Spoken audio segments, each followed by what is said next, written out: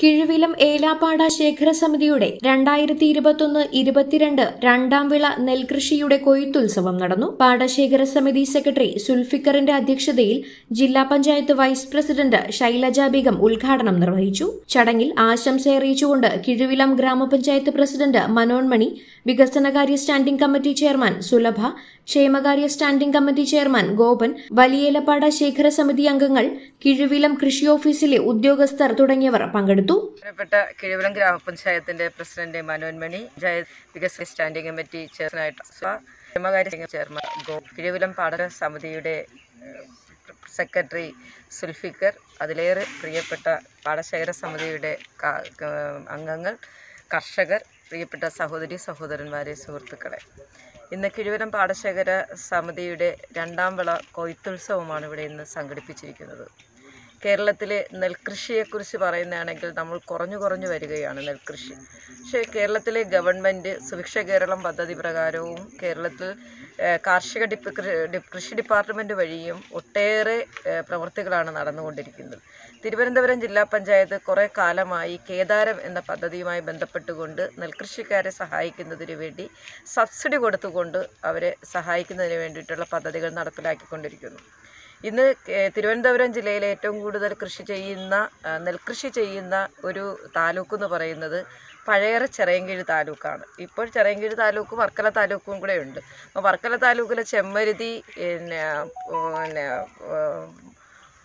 പ്രദേശങ്ങളിലും ചിറയൻകീഴ് താലൂക്കിലെ കിഴിവിലം പഞ്ചായത്ത് ചിറയൻകീഴ് പഞ്ചായത്ത് കിളിമാനൂർ പഞ്ചായത്തിലെ ഒന്ന് രണ്ട് പഞ്ചായത്ത് കിളിമാനൂർ ബ്ലോക്കിലെ ഒന്ന് രണ്ട് പഞ്ചായത്തുകളിലുമാണ് നെൽകൃഷി ഉള്ളത് അപ്പോൾ നമ്മുടെ നെൽകൃഷി ഇന്ന് പാടെ മാന്ത നികത്തി നെൽ നെൽപ്പാടങ്ങൾ നികത്തി നമ്മൾ വീട് വയ്ക്കുന്നതോടൊപ്പം അതുപോലെ മറ്റുള്ള കൃഷികളും ചെയ്യുന്നതുകൊണ്ട് നമുക്ക് ഒട്ടേറെ പാരിസ്ഥിതികമായിട്ടുള്ള ബുദ്ധിമുട്ടുകൾ ഉണ്ടാകുന്നു ഇപ്പോൾ തന്നെ വെള്ളത്തിന് ബുദ്ധിമുട്ടുണ്ടാകുന്നു പണ്ട് നെൽകൃഷി ഉണ്ടായിരുന്നപ്പോൾ പാടങ്ങളിൽ വെള്ളം നിറഞ്ഞു കിടക്കുമ്പോൾ അടുത്തുള്ള കിണറുകളിലും വെള്ളത്തിനൊന്നും ഒരിക്കലും നമുക്ക് കുറവ് വന്നിട്ടില്ല. പക്ഷേ ഇപ്പോൾ അതല്ല.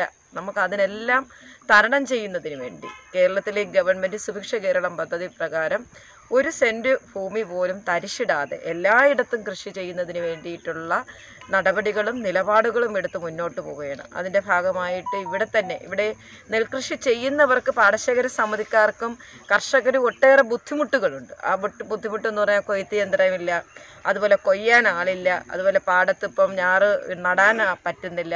അത് തൊഴിലുറപ്പ് മേഖലയുമായി ബന്ധപ്പെടുത്തുന്നതിന് വേണ്ടി അതിന്റെ ഏറെ ബുദ്ധിമുട്ടുണ്ട്. അപ്പോൾ ഒട്ടേറെ സാങ്കേതികമായിട്ട് നമുക്ക് ഈ കൃഷിയെ പ്രോത്സാഹിപ്പിക്കുന്നതിന്റെ ഭാഗമായിട്ട് ചില ബുദ്ധിമുട്ടുകൾ വരുന്നതുണ്ട് ഇപ്പോൾ തിരുവനന്തപുരം ജില്ലാ പഞ്ചായത്ത് നിങ്ങളുടെ ഇവിടുത്തെ കിഴിവലം ഡിവിഷൻ മെമ്പർ എന്ന നിലയിൽ ഈ കിഴിവിലത്തെ പാടശേഖര സമിതിക്കാരുടെ നിരന്തരമായിട്ടുള്ള ഒരു ആവശ്യമായിരുന്നു. കൊയ്യാൻ വേണ്ടി നമ്മൾ ഇവിടുന്ന് കൊയ്ത്തു മെതിയന്ത്രം പിന്നെ വാടകയ്ക്ക് എടുക്കുന്നത് ആലപ്പുഴ ജില്ലയിൽ നിന്നാണ്.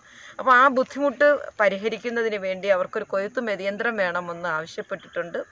ആവശ്യപ്രകാരം മുപ്പത്തഞ്ച് ലക്ഷം രൂപയുടെ ഒരു കൊയ്ത്തു മെതിയന്ത്രം ക്ലാസിന്റെ തന്നെ ഇവർ പറഞ്ഞ സ്പെക്കിലുള്ള എല്ലാ തരത്തിലും രീതിയിൽ തന്നെ ടെൻഡർ ചെയ്തു. ടെൻഡർ നടപടികൾ നടപ്പിൽ ചെയ്യുന്നതിന് വേണ്ടി അഗ്രി എഞ്ചിനീയർ ടെൻഡർ നടപടികൾ സ്വീകരിച്ച് തുടങ്ങിയിട്ടുണ്ട്. ഇവിടുത്തെ കിഴുവലം പാടശേഖര സമിതിക്കാണ് ആ കൊയ്ത്തു മെതിയന്ത്രം കൊടുക്കുന്നതായിട്ട് ഞാൻ ഈ വേളയിൽ പറയുകയാണ്. അപ്പോൾ ഇവിടെ ഇന്ന് ഞാൻ ദീർഘമായിട്ടൊരു വർത്തമാനത്തിന് മുതിരുന്നില്ല. ഇപ്പം എല്ലാവരുടെയും എന്താ അനുവാദത്തോടു കൂടി ഈ കൊയ്ത്തുത്സവം ഔപചാരികമായി ഉദ്ഘാടനം ചെയ്തതായിട്ട് അറിയിക്കുന്നു. നന്ദി നമസ്കാരം. ഈ കൊയ്ത്തുത്സവം ഔപചാരികമായി ഉദ്ഘാടനം ചെയ്തതായിട്ട് അറിയിക്കുന്നു. നന്ദി നമസ്കാരം.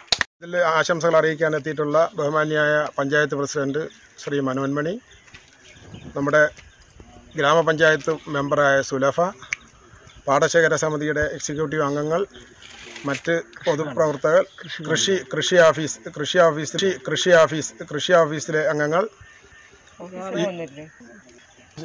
സമിതിയിലെ അംഗങ്ങൾ എല്ലാവർക്കും ഈ അവസരത്തിൽ ഞാൻ സ്വാഗതം സ്വാഗതം ആശംസിച്ചുകൊണ്ട് എച്ച് പി ന്യൂസ് ആറ്റിങ്ങൽ